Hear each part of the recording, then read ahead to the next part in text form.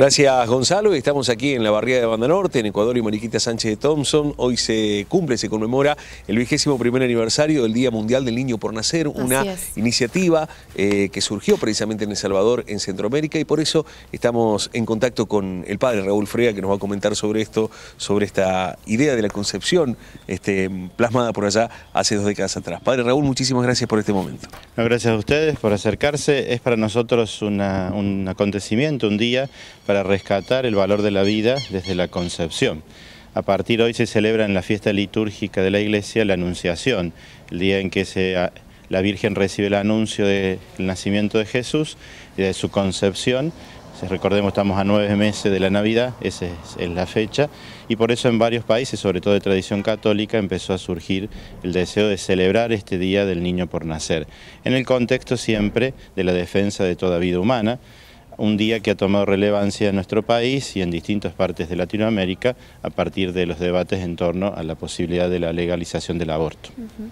Compañeros, ¿tiene la posibilidad de estar interactuando con el padre? Padre Frega, bueno, justamente eso le iba a consultar. Eh, ¿Qué significado tiene esta fecha en los últimos años, especialmente desde el año pasado y este año, donde bueno, el debate por el aborto sí o el aborto no ha cobrado otro tipo de vigencia y de relevancia en la Argentina, ¿no?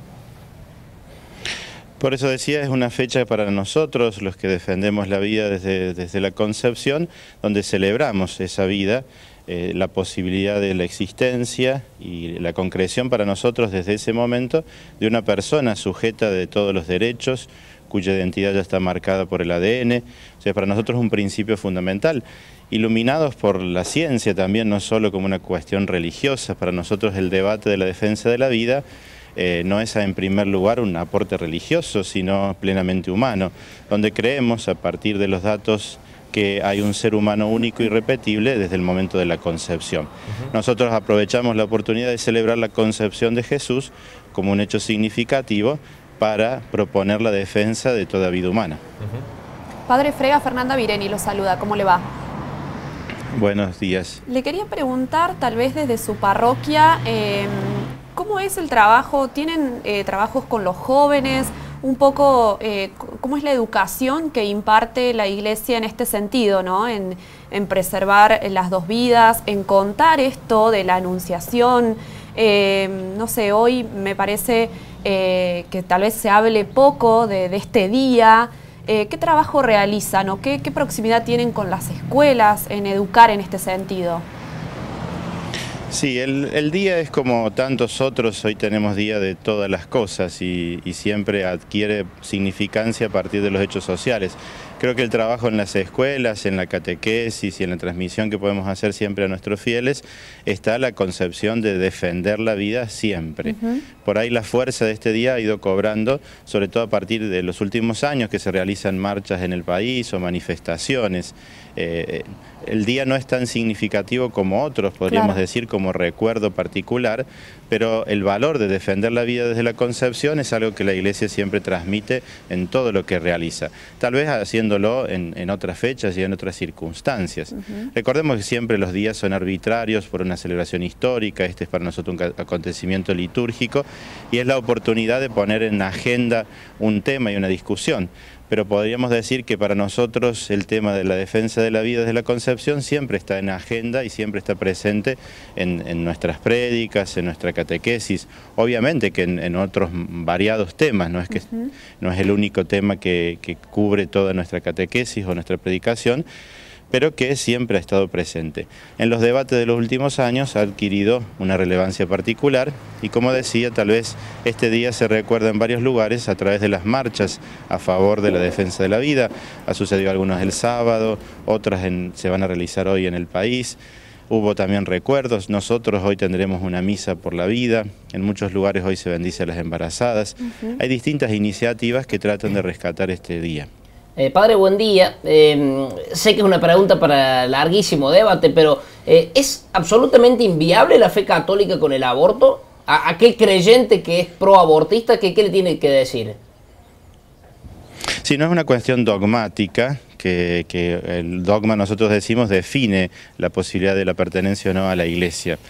Pero para nosotros como creyentes católicos la defensa de la vida de la concepción une la diversidad que tiene la iglesia. Sabemos que la iglesia es diversa en su pensamiento, si vamos a otros temas y otras posturas, podemos encontrar sacerdotes religiosos y laicos con una variedad eh, bastante grande.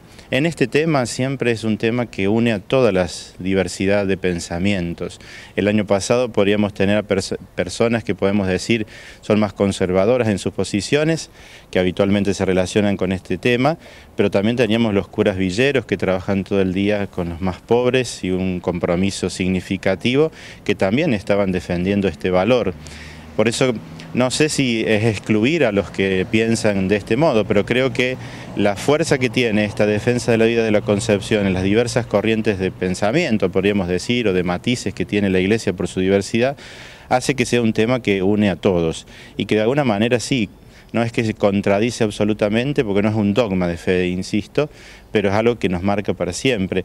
Porque creemos que si no defendemos la vida en toda circunstancia, siempre abrimos la puerta a que los más fuertes se impongan sobre los más débiles.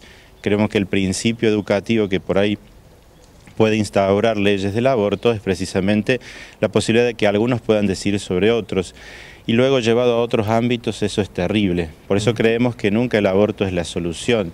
Nos ha servido, sí, el debate del año pasado, eso lo han reconocido los obispos, para descubrir que hay un montón de sufrimiento, descubrir o poner más visible, porque eh, lo sabíamos, pero a veces las distintas circunstancias, la lucha de las mujeres, el hecho de la violencia hacia ellas, ponen en el tapete situaciones que tenemos que también tratar cuando hablamos del aborto y no quedar simplemente en la discusión de la madre o el niño, sino descubrir que hay una tragedia social detrás de la posibilidad del aborto. Nosotros creemos que la posibilidad de hacerlo no es la solución, sino que son necesarias otras acciones. La defensa de la mujer, la promoción humana, la educación sexual integral, son otros temas mucho más amplios que, que este debate trae a consideración. Bien, padre, aprovecho y le consulto porque la Universidad Católica Argentina, con su Observatorio de la Deuda Social, ha dado a conocer nuevamente hoy la realidad de la pobreza en la Argentina y da un número, el 31,3% de los argentinos es pobre y el 28% tiene problemas alimentarios. Eh, ¿Cómo está viviendo la iglesia, la iglesia de barrio, esta situación social en el país, puntualmente aquí en Río Cuarto? ¿no? Nosotros vemos un aumento de los pedidos de ayuda, sobre todo para lo, básico que es el, comer. Eh, por ahí la cercanía eh, de las personas que trabajan en Cáritas a través de los bolsones alimentarios, las ayudas a veces para las meriendas. Aquí dentro a dos cuadras hay un centro comunitario donde Cáritas está asistiendo. Eh, vemos que hay una preocupación y sobre todo un corrimiento.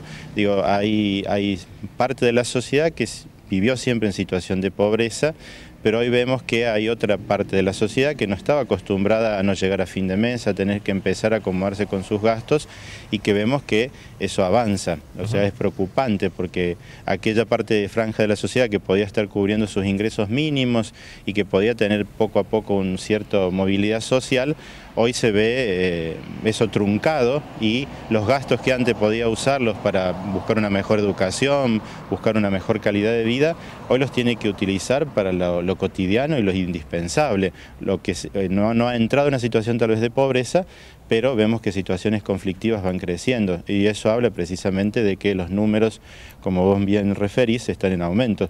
Los obispos han expresado, particularmente la semana pasada, la preocupación de que los candidatos a, bueno, a, ser presidente, a gobernador en las distintas instancias que tenemos este año en nuestro país, puedan dejar claro cuál va a ser sus posturas en la defensa de, bueno, del, poder adquisitivo, en la defensa de las fuentes de trabajo. Claro. Padre Frega, eh, muchas gracias por estos minutos y por haber recibido el móvil allí. No, gracias a ustedes y bueno, eh, siempre el diálogo fecundo entre las diversas posturas nos permite crecer como sociedad. Para nosotros es un día importante y así lo decimos. Bueno, muy amable, ¿eh? muchas gracias. Gracias a ustedes. Adiós.